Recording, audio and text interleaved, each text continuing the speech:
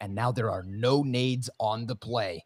It's going to come down to sectioning off these 1v1s. TeSeS gets tagged. Now that's confirmed TeSeS in pit. They don't know where Cadian is, but a single shot will drop him. He pops up, dealing with Amanek. Kenny trades it. Borup's up close in the corner. Kenny honing in on this. Seems to know, but can he land the oh. shot? Absolutely. Right between the eyes. Oh, G2 keeping their lead.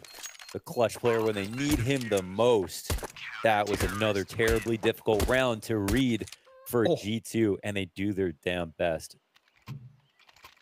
Uh, that was a sick conclusion to that round because that became so much about individual decisions halfway through this execute, and yeah, that ended on a, a clutch like that. And you can see Kenny firing the warning shot, letting him know, or oh. trying anything sneaky. I'm aware.